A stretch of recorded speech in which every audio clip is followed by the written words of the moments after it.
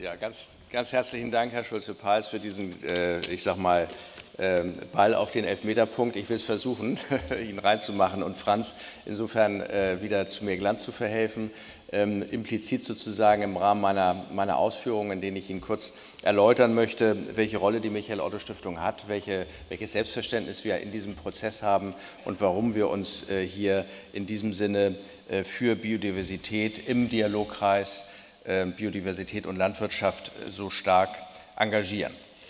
Ähm, dieser Dialogkreis besteht ja aus ganz unterschiedlichen Personen und Institutionen. Insgesamt sind über 30 verschiedene Akteure hier miteinander versammelt, um an, in, im Rahmen einer, einer Plattform einen konstruktiven und konkreten Dialog für Biodiversität in der Landwirtschaft zu führen äh, und zu Ergebnissen äh, zu kommen.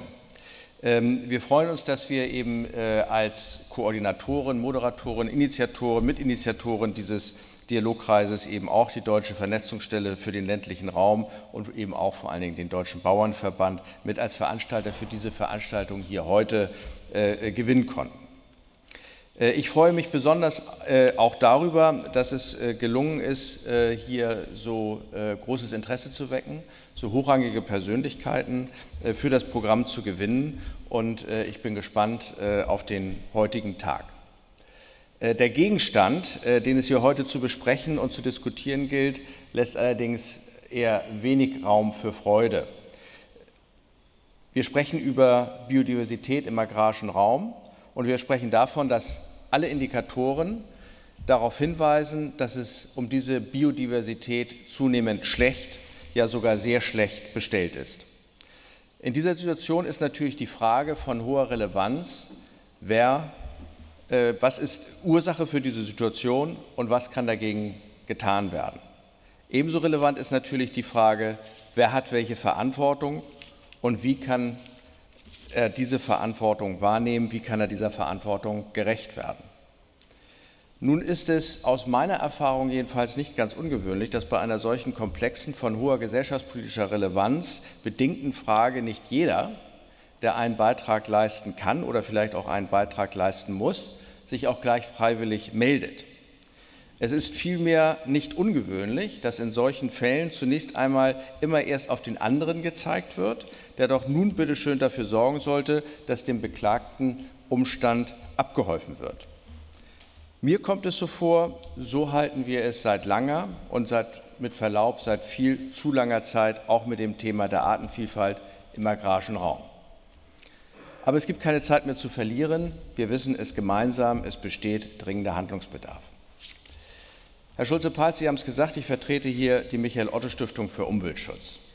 Diese von dem Unternehmer Michael Otto 1993 gegründete Stiftung hatte sich zur Aufgabe gemacht, ihre besondere Position dafür zu nutzen, zwischen unterschiedlichen Positionen und unterschiedlichen Akteursgruppen in der Diskussion um Umwelt- und Naturschutz in Deutschland Brücken zu schlagen. Die Eigenart ihres Charakters nämlich aus einem unternehmerischen Umfeld heraus gegründet zu sein und, und das von einer Persönlichkeit, die über die Wirtschaft hinaus in der Gesellschaft über große Reputation und Respekt verfügt, gibt ihr, der Michael-Otto-Stiftung, die Möglichkeit, glaubwürdig eine gewisse Neutralität zu wahren. Eine Neutralität zwischen wirtschaftlichen und ökologischen Interessen. Jedenfalls möchten wir unsere Rolle so verstanden wissen. Allerdings nicht, indem wir dem Missverständnis Raum geben würden, dass uns etwa der Umweltschutz nicht sehr nachdrücklich und vor allen Dingen am Herzen liegt. Ich selber, auch das wurde gesagt, bin neben meiner Rolle in der Michael-Otto-Stiftung seit fast 30 Jahren äh, für das Thema Nachhaltigkeit in dem internationalen Handels- und Dienstleistungskonzern tätig, der den Namen der Unternehmerfamilie Otto trägt. Mit seinen 13 Milliarden Euro Umsatz und 60.000 Mitarbeitern ist der Konzern ein Akteur, der in der Wirtschaft und in der Gesellschaft wahrgenommen wird, der, was die gesellschaftliche Verantwortung anbelangt, entsprechend in die Pflicht genommen wird, der sich nicht verstecken kann. Diese Sicht auf die Unternehmensgruppe ist durch das Agieren von Michael Otto als Homo politicus im Sinne eines auf Nachhaltigkeit drängenden Unternehmers äh, und einer auf Nachhaltigkeit hin sich orientierenden Wirtschaftsweise sicherlich noch geschärft worden.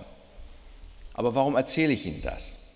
Ich erzähle es Ihnen, weil ich es gewohnt bin, in dieser Rolle als Vertreter des Konzerns darüber, mich darüber auseinanderzusetzen, welche Verantwortung wir als Unternehmen haben, welche Verantwortung die Politik hat und welche die sonstigen gesellschaftlichen Kräfte.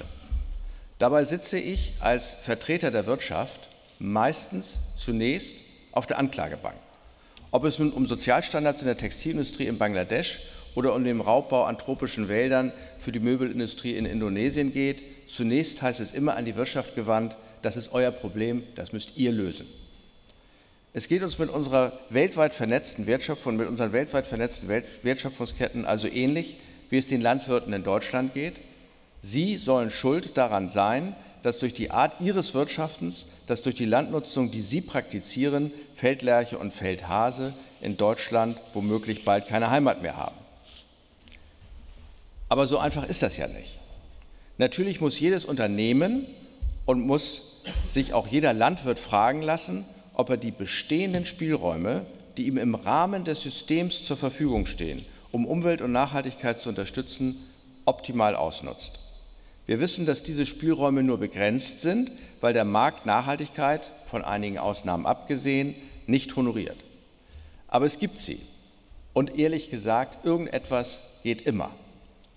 Und ich denke, diese Spielräume, so gut es geht, auszunutzen, ist von jedem, der Landwirtschaft oder eine andere Art des Wirtschaftens betreibt, mit Blick auf die Größe der Aufgabe, die vor uns liegt, wirklich nicht zu viel verlangt.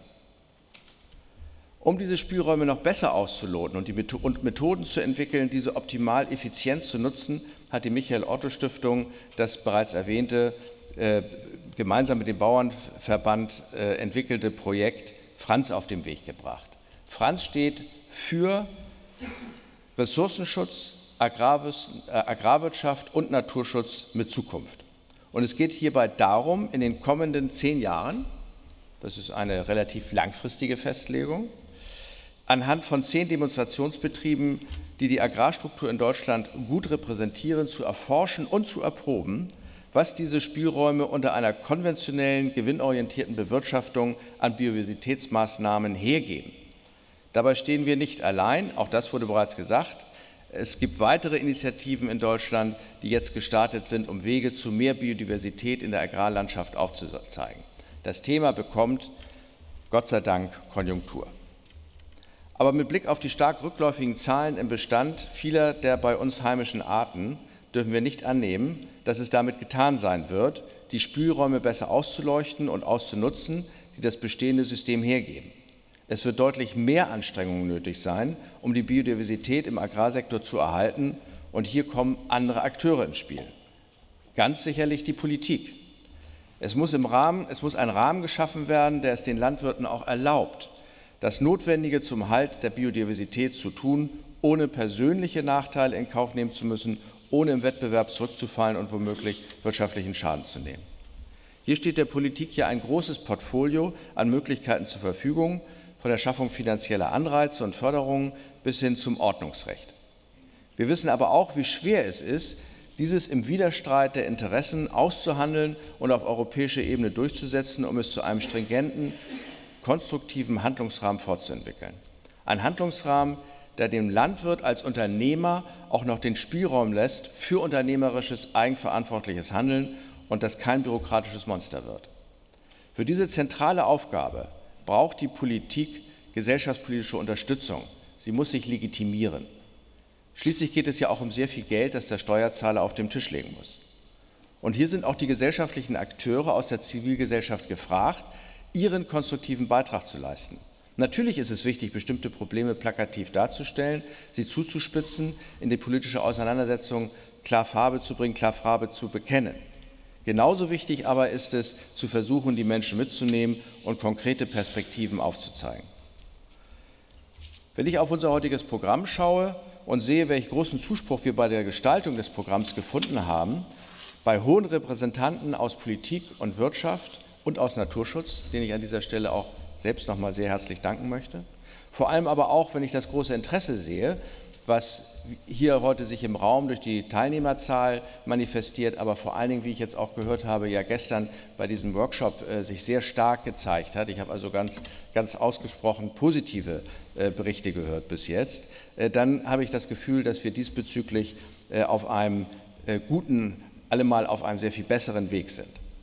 Aber es ist noch viel zu tun, um über den kritischen Diskurs, das Ringen um den richtigen Weg und dem Ausgleichen unterschiedlicher Interessen zu dem Ergebnis zu kommen, das dabei hilft, dass Feld Lerche und Feld Hase auch in Zukunft in Deutschland eine Heimat haben. In diesem Sinne richte ich mich an Sie alle mit der Bitte, den Weg zu mehr Biodiversität in der Agrarlandschaft konstruktiv und lösungsorientiert mitzugestalten. Herzlichen Dank.